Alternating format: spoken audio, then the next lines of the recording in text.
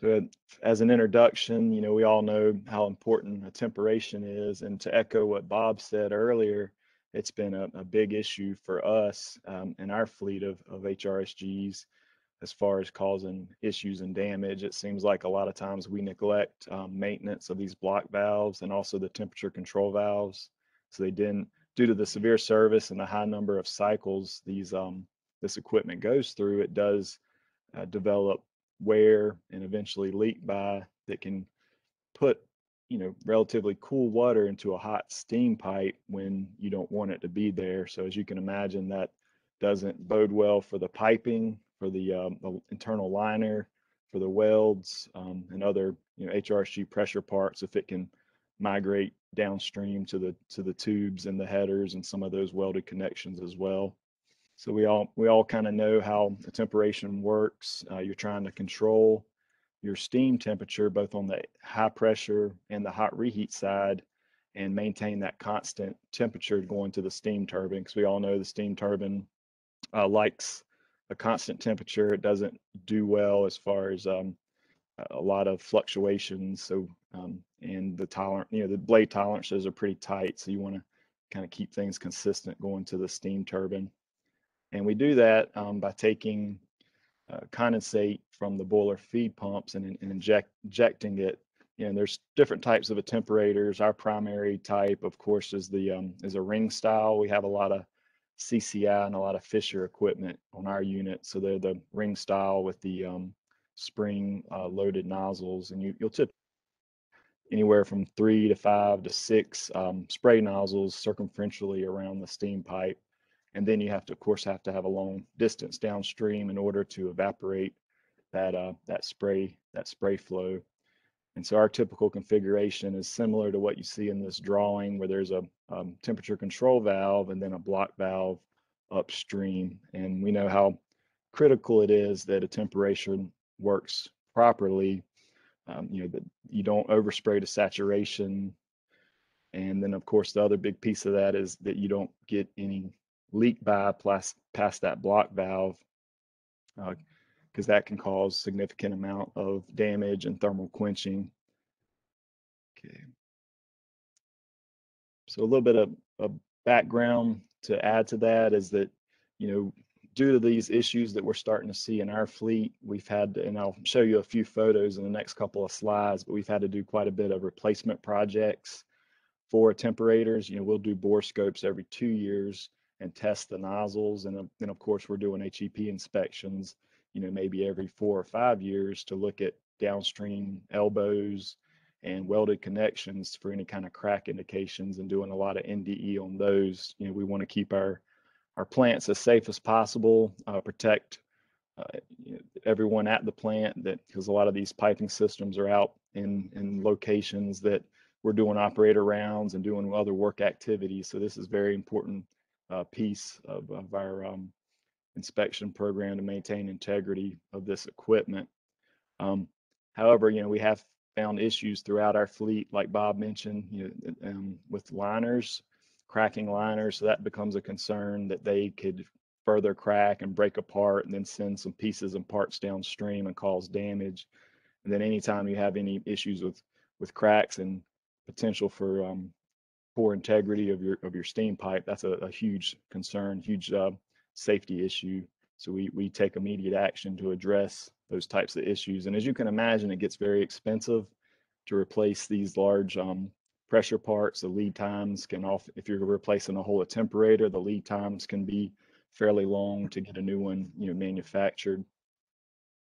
Um, so for the spray flow, the typical flow meter is just a you know your standard orifice DP style flow meter, um, like you see in this drawing to measure uh, how much spray flow is going to your attemperator.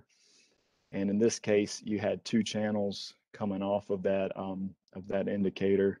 Some in some cases we just have um, you know one flow transmitter. In other cases, there's two you know flow transmitter channels for redundancy.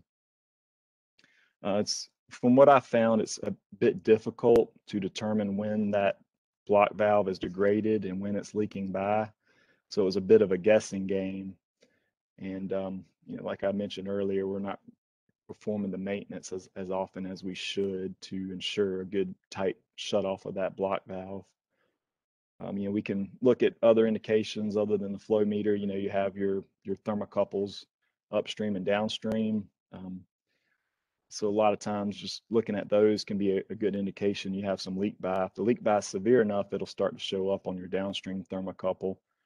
But what I found was during startups and shutdowns, you have a larger DP across that block valve because you're looking at maybe 3,000 pounds or, or more coming from your boiler feed pump. And during a startup and shutdown, your pressures on your steam side are going to be much uh, lower. So that DP across the valve increases. So you're going to, uh, your leak by rates will, will therefore increase. And so um, during startups and shutdowns, I found it was more difficult to detect that leak by. So we, we have evaluated using some acoustical style um, systems to start to determine leak by on the block valve. Um, however, with the current technology, it only gives a noise signature, not a, not a flow rate. So I didn't. So far, we we hadn't found that to be as good of a solution as as the ultrasonics. So here's a couple of the photos I had mentioned of, of damage when we do our internal bore scope. So this is a this is not a steam pipe. It is the liner just downstream of the spray nozzles, but some significant cracking and, and generally we'll it's it's just immediately downstream of those spray nozzles because you can imagine this water kind of dribbling in instead of having a nice spray pattern uh, that can evaporate quickly. You don't have that steam flow that's necessary. And I think it's really the steam velocity. I'm not an expert on the attemperators, but I think it's the steam velocity that kind of helps um, mix that incoming spray flow and evaporate it but when you don't have that during startup and shutdown or a low load condition, this is what what happens because you think about that water just kind of dribbling in and making contact with this very hot um, steam pipe and liner, and it can it can cause um, those quenches that develops you know develops the stress that turns into cracks here pretty quickly. A uh, couple more photos um, from um, from the liners as well. H, this is an HP attemperator so additional cracks that were um, found in, in another unit. And this was uh, really concerning. This was an older unit that had been in operation for almost 20 years. And This is a hot reheat attemperator, and this is the weld immediately downstream um, of the liner.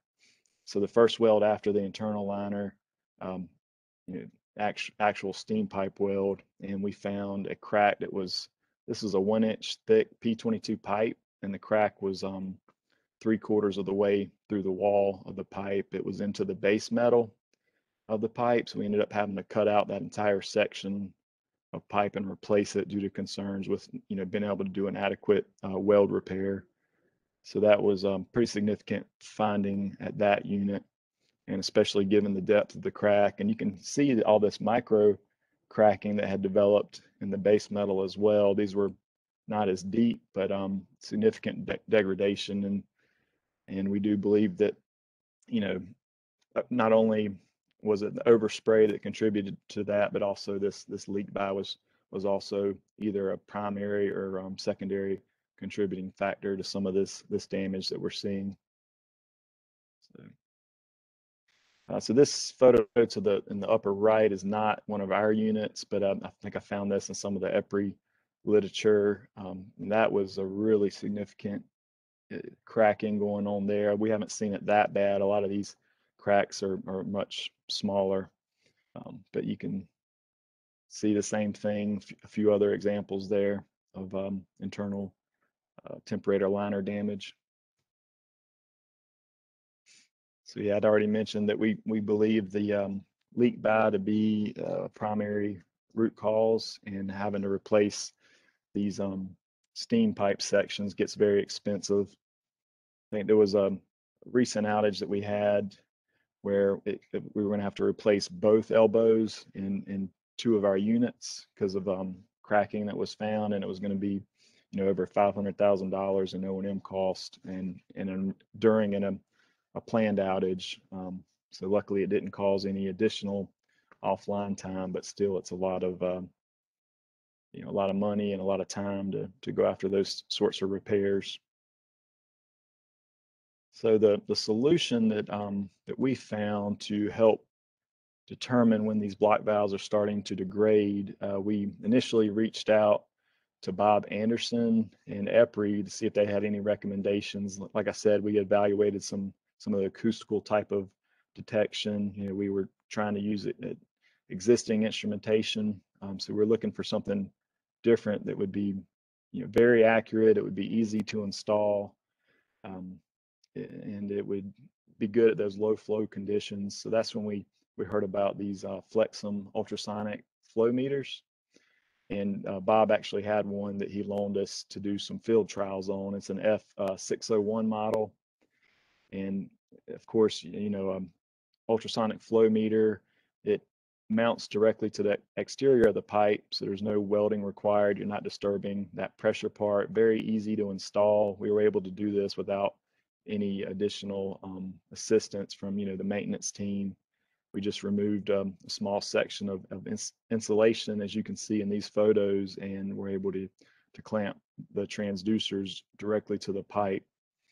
So there's, uh, you know, there's two transducers and it sends a signal um, through the, the pipe full of liquid and one of the, the, the sensor that's downstream captures the signal and then it all depends on the movement of that signal. So it, it calculates a delta T and I'm sure there's probably some folks on the call from from Flexim that could go into a lot more detail about how this works and um, kind of the science behind it. But that's some of the basics, as you can see in, in this slide, that we're calc calculating a volumetric flow rate, and it kind of goes through the science of the calculation. And um, thought I would just just read this because it was goes into some good detail. So the transducers are mounted on the pipe, which is completely filled with the fluid. The ultrasonic signals are admitted alternatively by a transducer and received by the other. And the physical quantities are determined from the transient time of the ultrasonic signals. And as the fluid where the ultrasonic propagates is flowing, the transit time of the ultrasonic signal and flow direction is shorter than the one against the, the flow direction. So the transit time difference or the delta T is measured and allows the flow meter to determine the average flow velocity along the propagation path of the ultrasonic signals. And then a flow profile correction is then performed in order to obtain the area averaged flow velocity, which is proportional to the volumetric flow rate. And the integrated microprocessor controls the entire measuring cycle. Um, the received ultrasonic signals are checked for measurement, usability, and evaluated for their reliability, and the noise, noise signals are eliminated. So that's kind of the, the basic principle behind how it works. And some of the advantages, and, and I found this, this is from Flexim, but I found it to be true just through our experience and through our field trials. Um, so it's you know non non-invasive. As I was saying, it it mounts directly to the exterior of the pipe. Um, you know they're very reliable. Um, no maintenance is required, which I, I found to be good because we're we're already fairly uh, short-staffed at our plant, so we didn't we wanted to find a solution that didn't add a a lot of additional time and um, you know annual calibrations and things like that. Um, they claim that they're nearly indestructible. You know, there's no pressure drop compared to a DP uh, orifice. You're gonna you're gonna get some wear, and and you're gonna have to calibrate the instrument as it degrades over time. But you don't have that pressure drop internally um, from the flow. So bidirectional, it can measure flow in either direction.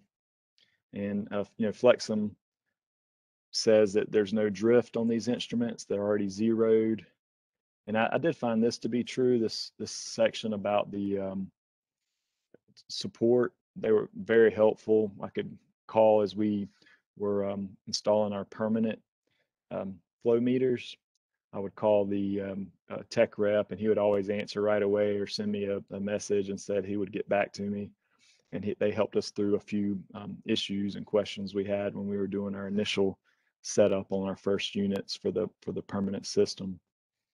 Um, a couple other um, advantages to, to this type of, of uh, system.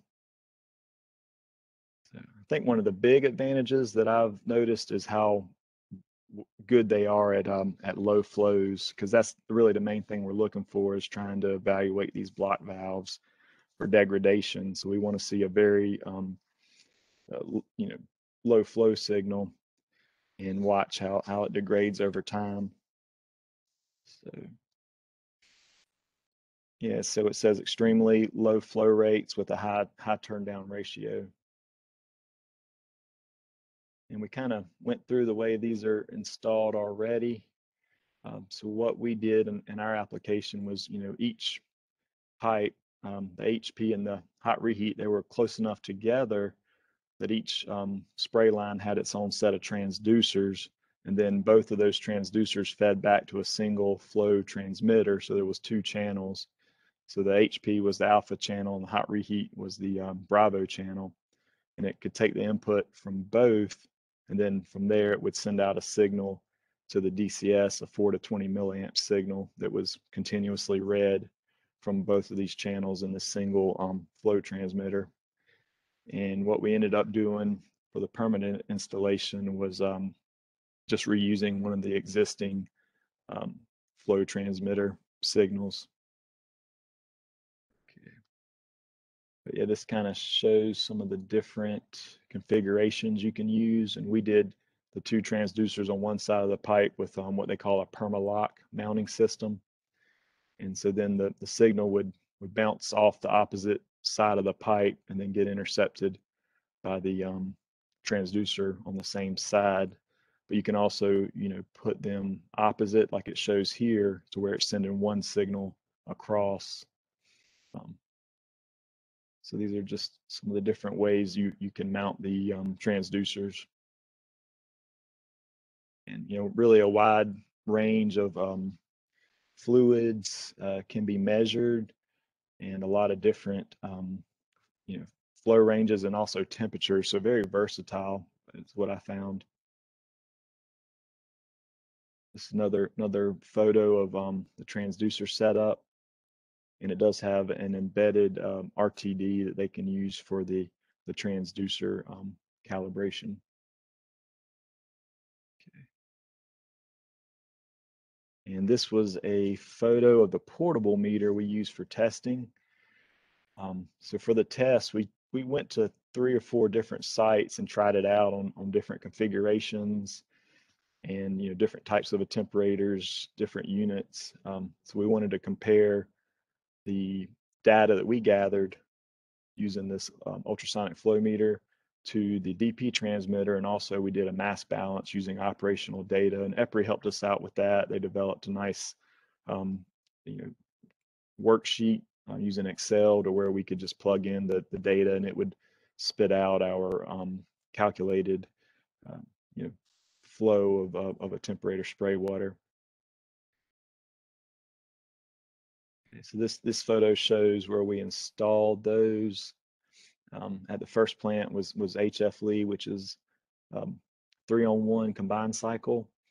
And so when you program these things, you're putting in all these variables that'll affect the signal that the transducer sends. You're putting in your pipe material, your pipe diameter, wall thickness, and your internal um, temperatures. So all that has to be programmed in. And for us, our HP spray line was three inch schedule 160, and the reheat spray line was three inch schedule 80. And the temperatures ran somewhere around 300 to 350 degrees because it's you know it's coming from the boiler feed pump. So this talks a little bit about the history of the plant where we found a lot of that cracking that you saw in the previous slides. And all three of those HP attemperators, we've had to replace them because of um, because of cracking in those internal liners. And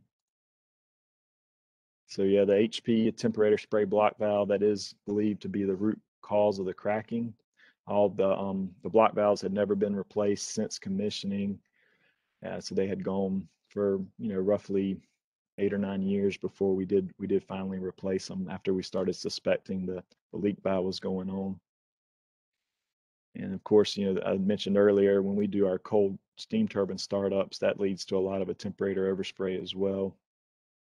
It's interesting because we have a, a, sister site to these units where we haven't had the, the cracking issue.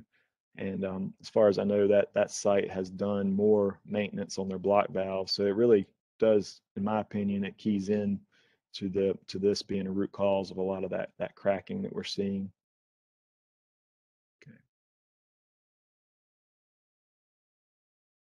Uh, so this was some of the initial data that we gathered, and this unit operates at a extreme low load at um, at some point. So you can see the calculated spray flow, the mass balance, um, and that matches up very nicely with the Flexim data we were gathering, and then the the DP from the um, from the DCS. So that orif orifice DP, DP was way off at certain times. Sometimes it matched pretty well. At other times it was it was way off.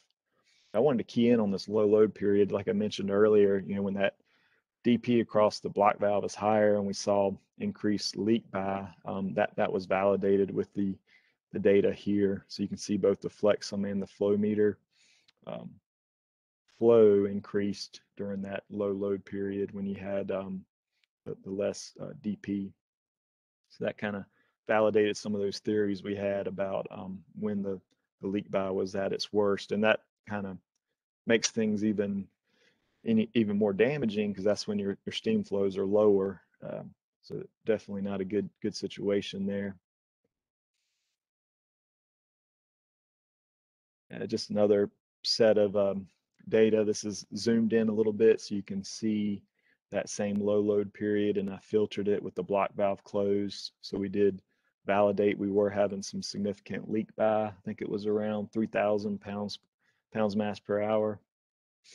Um, and then of course that DP flow meter was um, was showing a little bit, but it was just not as accurate. The DP transmitter didn't seem nearly as accurate at the low flows. So this gave us a much better picture of what was going on. Um, so these were some of my, my observations on that the reheat side. Um, so we did confirm that leak by was happening and we had a plan in to go ahead and replace those block valves during the next uh, outage. And I think I've, I've kind of covered a lot of these, uh, these points already.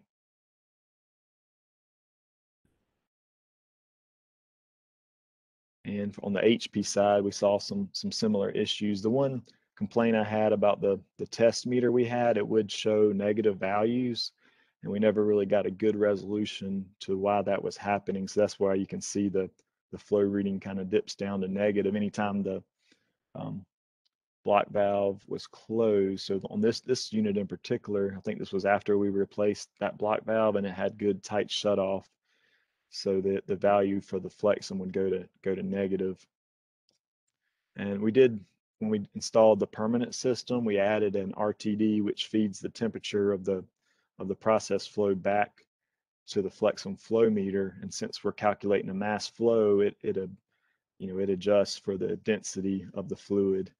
And uh, so we're seeing much um, better readings from the permanent installation. We didn't have that with our test setup. So that's why we suspect we were seeing these, uh, these negative readings. So another look at the HP attemperator and the same sort of process was followed. And once again, this was after the uh, this was after the block valve was replaced. So you can see the Flexim flow meter goes to zero anytime that block valve is closed. And um, calculated spray water was a little bit off, but it matches matches pretty well. Just a you know nice comparison between the DP uh, reading and the Flexim flow meter reading. Mouse is not cooperating.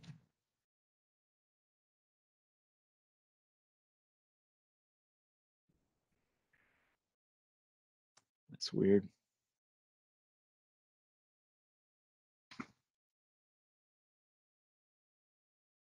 Try this instead. Sorry, something locked up on me. There it goes. So the HP observations, I you know I covered all those already with the um, uh, everything matching up nicely.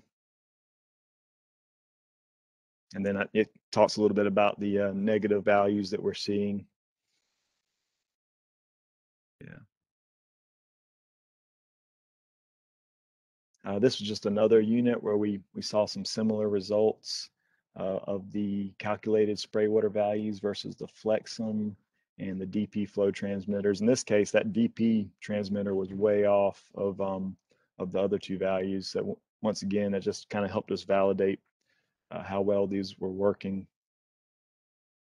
Um, and one of the things I wanted to mention, we were doing this test, uh, we had one unit on the HP spray line that was reading about 110 uh, pounds mass per hour. So not a huge amount of leak by, but it was, you know, it was a little bit. And so we had at, there was a manual valve downstream. So we asked the operators to come in and close that manual valve just to see what the, how the Flexim flow meter responded. And when the, and when the operator closed the manual valve, so the block, the temperature control valve was closed, the block valve was closed, but we were getting the um, 110 pounds mass per hour. As soon as the operator closed that manual block valve, we saw the, the indication drop off on the Flexim flow meter down to um, you know, right at zero or maybe a little bit negative. So that was um, kind of reassuring that this thing was was reading accurately and responding. Um, so we've got our first permanent installation now at that 301 unit that had the, uh, the temperature damaged. And as I mentioned earlier, we just selected one of those um, DP indication, indication, the flow transmitters, and replaced it with the Flexim ultrasonic flow meter. So it's, it's a good comparison between the DP and the um, and the Flexim. Um, some of our units only have one flow meter, so we had to make a decision: do we reuse the existing flow transmitter so we can reuse the wiring and not have to run new wiring and conduit and put a new card in, or do we add a redundant? So one would be DP and one would be Flexim. And uh, some of our some of our sites have chose to, to add a redundant, and others have have chose um, to replace it altogether. And uh, as far as um, sending the signal back to the DCS, we've been using a four to 20 milliamp signal. I think there's you know there's other options for what you can do. You can use HART and Modbus, um, and, and quite a few other options there. I think there's there's binary output, frequency output, and active or passive. We chose to, to use a passive um, output because our and our other instrumentation, the DCS powers the loop. So we chose to stay consistent with that. That's kind of getting into the de details of, of the permanent installation.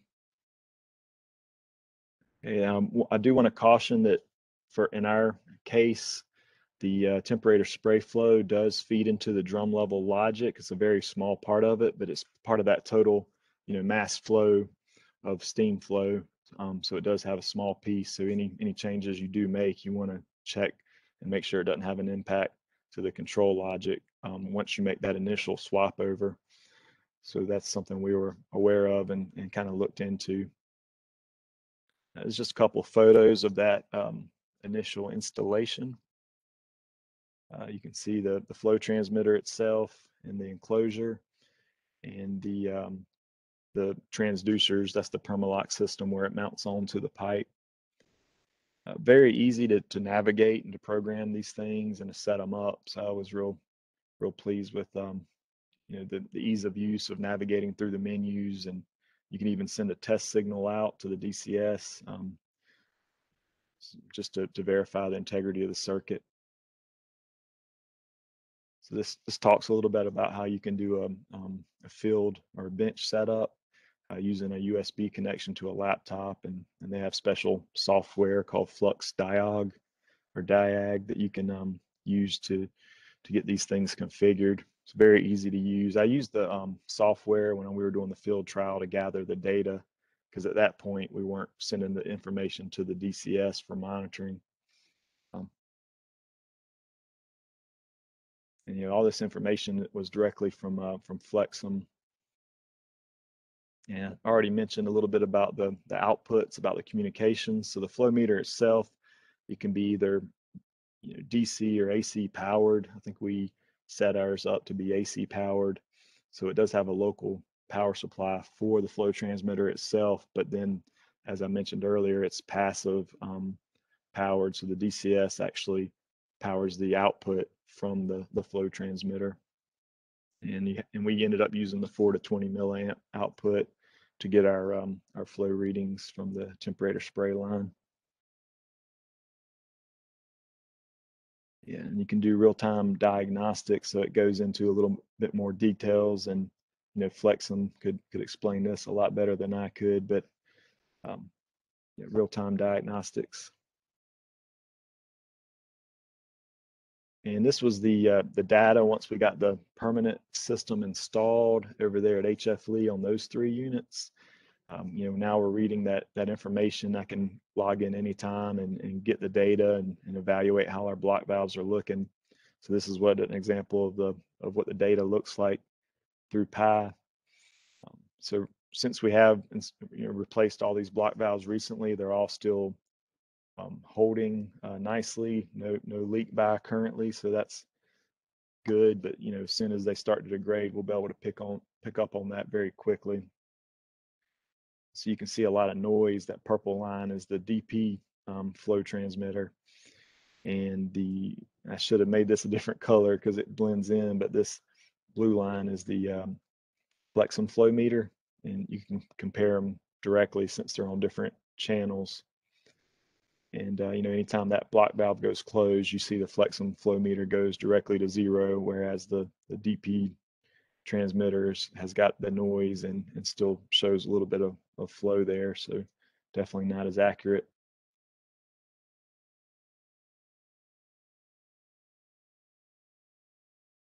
Just another example. I think this was HP temperator spray water flow, but really the same thing that we observed there was the DP was a bit off and, and Flexim as soon as that block valve went closed and had good tight shut off, the you know, Flexim flow meter dropped to, to zero and, and stayed there. So I've been real, real pleased with the performance of it so far. And another example from the, I think that's HP as well from another unit.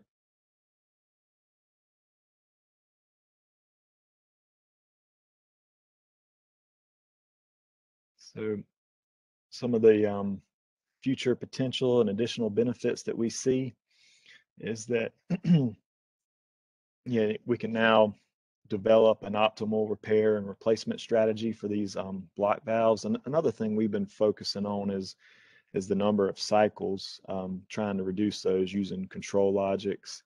I know there's there's a lot of different um, options for that and strategies you can take. You know, some people believe you could keep the block valve open the whole time and you might take a little bit of a hit on efficiency because those temperature control valves aren't the best for tight shut off. Um, so we, the way we operate is, um, you know, we cycle the block valve when these units um, move and load and maybe they go duct fired. You don't have to temperate the entire time. So these block valves are cycling quite a bit, but we have taken some action to reduce the number of cycles, which should help. But having this um, this flow indicator in place will just let us monitor. I mean, we can probably do some studies and compare the number of cycles to, to how long it takes to, to wear the seat of the valve, and then that'll give us a good repair strategy, time-based, um, that we need to, to replace. Or I guess it would be more performance-based since we um, are, are, doing a lot more analytics on this. Yeah, we can also um, you know, monitor the control valve in the system because it'll experience the same benefits where the flow through the valve at a given valve position may be trended over time to determine a wear rate. And we are looking at expanding this to bypass the temperators. Uh, we have had a few issues. You know, they don't operate quite as often in our fleet. We're not doing a ton of cycling, but those, you know, bypass temperators, they can just they can be just as detrimental if the block valve starts to leak by and you're getting um, you know some quenching or maybe even some pooling of water that could could develop when that thing um, opens and maybe you know potentially sends a slug of water downstream. And um, we are, I think I've, presented earlier through the HRSG forum about our steam atomizing attemperators. That's something that's um, kind of new to the industry, but we're moving forward with on several of our units. You know, any kind of leak by on that, i think is is not a good thing. So this is really um, a high priority for us on any of those sites where we're adding the um, the steam atomizing attemperators. You definitely don't want won't leak by on those since there's no spray nozzles or and um, you may be putting water in without the atomizing steam. So that's going to uh, be a good benefit. But yeah, overall, I'm real real pleased with these. This is kind of a fleet standard that we're moving towards to install these on all our units in the Carolinas. We've got it on that one three on one uh, power block. Uh, we're we're doing additional six units this fall, and um, we're going to move forward from there. Um, so a lot, a lot of good benefit, and we really appreciate Flexim and their support and helping us to um, get these things installed. And we appreciate Bob and EPRI for helping us to kind of vet these out to make sure that they would work well for this application. So I've been overall very pleased with the, the ease of installation, the performance, and the um, results we're getting from the um, from the Flexim flow meters. So with that, um, I'll give it back to Bob and, and moderate any questions we may have. So thank you for the opportunity to present and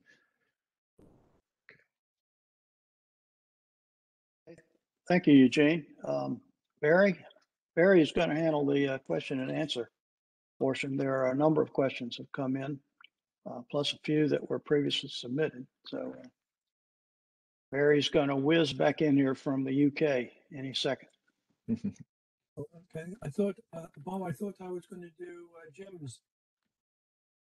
Okay, no problem. Um, so the first question uh, that came in, um, hang on.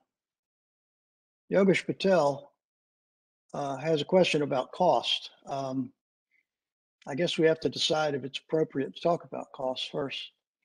So Yogesh, while we work on that, we're going to move on to the next question, which is also about cost. And we'll, we'll come back and see if we feel like it's okay to do that. Uh, Sounds If we decide not to discuss cost, um, you can get the cost questions answered very easily by contacting uh, someone from Flexim. Uh, Eugene, Yogesh has a question of what type of valves are you using for control and isolation? A great, great question. Um, so for the isolation for the block valve, we've moved to a standard of using a, um, you know, severe service metal seated ball valve. You know, these are typically two or two or three inch valves, um, and we we've been going with the Mogas. From from what we found, those seem to be one of the best um, as far as quality and tight shut off and performance. So that's that's kind of the standard that we've we've moved to across our fleet now. Okay, thank you. Um, Nicholas uh, Patelli asks, during low load operation, um, was the Flexim, when the Flexim was showing flow, were the uh, upstream and downstream steam temperatures at the attemperator corresponding to a leak? Yeah, that's a that's a great question, and I did see that. So not all of our um, units have a, a downstream thermocouple in the spray line, um, but the ones that did, you could clearly see a trend on those. So that was another um, option for for monitoring for this. So and and you could go out there, say like during operations, if that block valve would go shut, you know that the line down if it had tight shut off the fluid downstream is going to start to cool off towards ambient because you don't have any process flow going through that line. So you could tell if the valve was leaking by or not um, but of course that took a lot of efforts to go out in the field and actually measure the pipe temperature. Um, yeah you can also you know look at that through the dcs the temperature indication and i, I did see some evidence um, during startups and shutdowns um, if you're coming back from a cold startup and you're starting to see some um, temperature increase before the block valve came open, then yeah, that was another another good indication. So certainly, could there is some potential there as well for um, monitoring for leak values and temperature indication.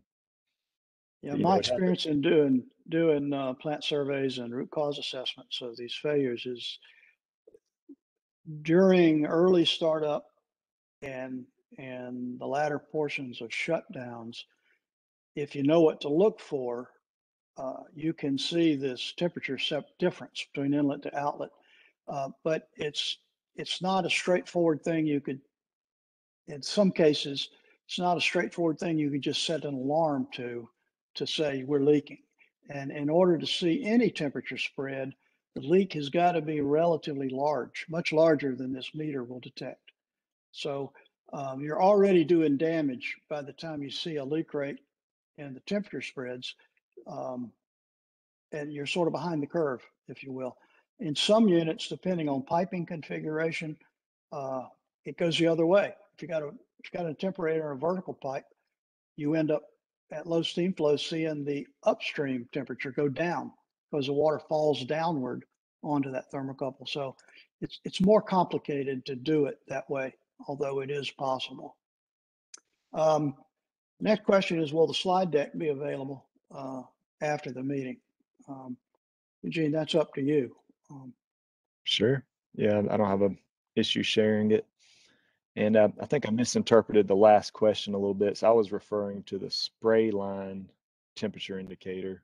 I So see. some some spray lines have a temperature indicator downstream of the block valve, and I know some of our plants do and some don't. But I think you were actually referring to the pipe thermocouples before and after Yeah, the that's- temperator. Ah, I got you. That's right. Right. Yeah, I I found it very difficult to use that as an indication for startup and shutdown. It seems like even if the block valve was tight, you would get this thermal stratification because most of our units have three thermocouples, either two or three downstream of the um, the temperator, and you would actually see differences that would look like it would be um, due to leak by, but it may be some condensation that was left, or you get a little Mhm. bit of temperature differences before that unit really heats up. So I found it was very difficult to use those as a good indication, and, and just in my experience. Yeah.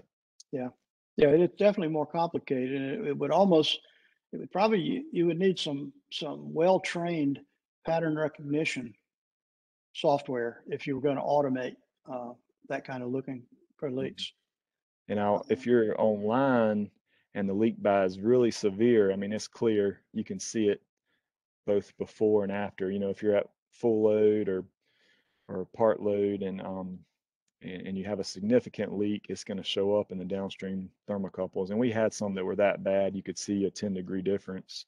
Right. You know, All right, we have a, a question from Matt Doyle as to what are the advantages, disadvantages of transducer arrangements in line 180 degrees, you know, one on each side of the pipe versus both on the same side of the pipe. Um,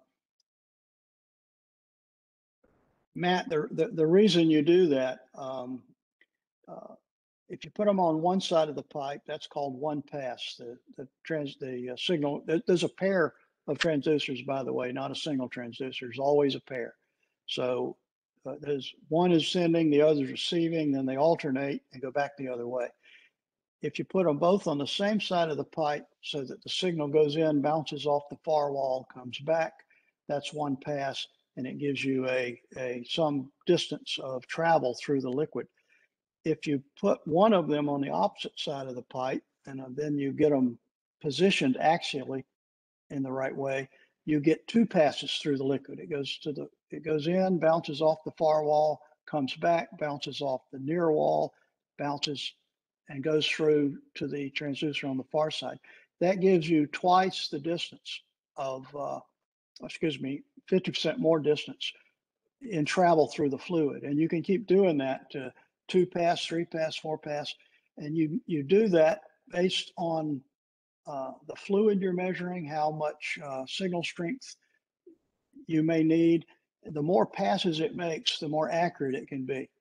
But you've got the issue counterbalancing of attenuation of the signal as it's passing through the fluid. So that can get complicated. Uh, in this case, you can do either based on what's convenient for you because it's not very difficult to shoot it through a pipe full of water uh, like these pipes. This is very, as Eugene said, this is a relatively simple application for this equipment.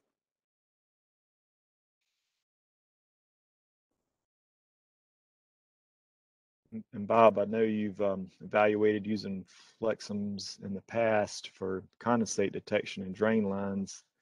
I don't know if you wanted to elaborate on that at all, but uh, seems like a- Well, there's a another. question here in a minute, sort of relating to that, which we can pick up. Um, uh, Bob Gillette asked, uh, were you able to confirm that pipe damage is reduced by eliminating the block valve leakage? So say say the question one more time. I'm sorry. He- Bob asked, uh, were you able to confirm that the pipe damage has been reduced by eliminating the leakage? That's a great question. It's still fairly new, so we just installed the permanent installations at HF Lee here in the spring.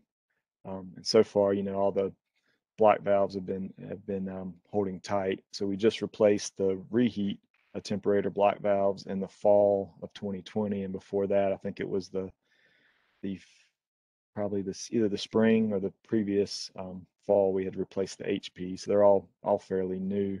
So really haven't um, got to do a good analysis. We you know we haven't had any failures since we installed them, but like I said, it's still still pretty new. Okay. And, and um, we've had a had a lot of focus on um, making sure at all of our sites we're going through and replacing these these block valves and you know more focus on making sure that we're maintaining those. All right. Andrew Martin asks, is there a fluid couplet between the transducer and the pipe? If yes, how often do you change the couplet? Great question. Um, so that they have the permanent um, coupling pads, so that they're fairly unique. Um, they're called, I think, Flex Spring Secured Mounting Fixture Guarantees Durable Contact Pressure, also on heavily vibrating pipes, and and that's what we did was these permanent coupling pads. So there's no gel that you have to to replace. So I see that as being an advantage, and um, I think Flexim claims that it's you know a low maintenance uh, solution that you, you don't have to go in and change this out every you know periodically and that's what we did on our system we put the permanent um, coupling pads on underneath this PermaLok uh, clamping system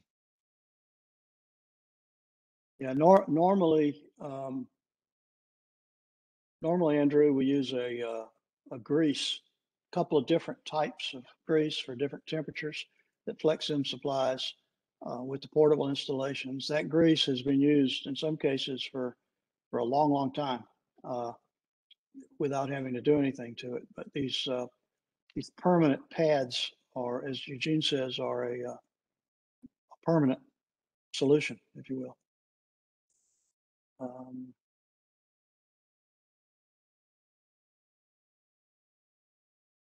uh, let's see, Clayton Con, Conslaves asked, he doesn't recall where the Flexim meter is located, but should this uh, flow meter be installed upstream or downstream of the block valve, Eugene? so we put it upstream of the block valve and the thought there was the the pipe would remain full of fluid in that location and uh, i can't Yeah. recall if there was any other reasons but can you elaborate any bob on Well, locations for my experience, well, we, as Eugene said, we've used this, this equipment with different signal processing uh, to detect steam versus water in drain pipes and control superheater, reheater drains. Um, for the system to, to, uh, the system is designed to see water. If you get too many bubbles or air or a partially filled pipe, you lose the, the transmission of the signal through the fluid and it goes into a fault condition. So to prevent that from occurring, putting it upstream of the block valve in this case is the best solution because that pipe will stay full, as Eugene said. If you put it downstream and your control valve leaked, now you're going to have a, a- mixture or an empty pipe in the uh, and the meter's going to go into default. It'll reset itself when the water comes back, but it's it's uh, it may not be as accurate as it would be on the upstream side for this application. Robert Threlkeld asked, what kind of training are you doing for the operators at the plant on this system? Yeah, That's a, a good question. Um, you know, we put together a, a brief package, just PowerPoint um, just to send out and just discuss the the technology and some of the differences between that and the and the flow transmitters. Uh, so that, and then of course we have the, the OEM manual, which is which is easy to read and pretty straightforward. Um, and it talks about how to to navigate through the the flow transmitter itself and to set it up and and to go to different um, screens and settings and, and things like that. So of course they they have that as well. They need to reference it, but yeah, the main thing was to kind of talk about the technology and how it works so they could get a good understanding of the, the equipment in their plant. And um, you know, our original DP transmitter put out reading in kpph, so we wanted to keep that consistent with ultrasonics. You can choose any any type of um, volumetric or mass flow rate to display. You know, it's got different options, and you know, we wanted to keep that that consistent. So it is putting out a mass flow rate because you can you could do feet per second or meters per second, all kinds of different um, units and, and and different ways to display the data. Okay. Uh, let me explain. Normally, we unmute the people asking the questions and let them ask them. Um, but since that takes longer and we're running up against the clock with lots of questions, I'm gonna, I'll keep reading them. Uh, Clayton Conscript, Conslaves asks, did you consider a comparison against using condensate detection with temperature elements in a downstream uh, superheater drain pot? Um, that that's really not a viable option. Uh, when the unit's running, there won't be any water in that down. And if there is a downstream drain pot, uh, there better not be any water in it. Uh, any leakage that occurs is picked up by the steam when the unit's operating. At uh, at low steam flows or during hot layup, if water leaks in, it's already damaged the, the temperator liner and the pipe before it ever gets to that drain pot. So that's really not a viable uh, means. Um, Jeff Cummings asked, did you consider installing a second actuated block valve in series to help prevent leakage? So we we had um, discussed doing that, um, but decided not to take that approach, just given the the high amount of cost. You you're having to install a second block valve. You're, you're talking about maybe a block and bleed type of configuration. That certainly would be a good option to provide provide that you know positive isolation um, and guarantee you're not going to leak by your block valve. So you know we did consider that, but that's not the approach we decided to take just due to the due to the cost, um, the complexity of having to add the additional logic and programming, and then having to run a you know a drain line um, for the for the bleed portion of that. So we, yeah, just something we didn't uh, decide to move forward with. We thought this Flexim Yeah. approach would be good. I- agree with, with what uh, Duke has decided. Um, I generally recommend this tandem block valve for situations where the piping configuration on an older unit is such that any leakage is going to run directly into the superheater or reheater coil, where we know it's going to do severe damage. Um, so this the double block valve, tandem block valve, and bleed arrangement can protect you in that severe situation.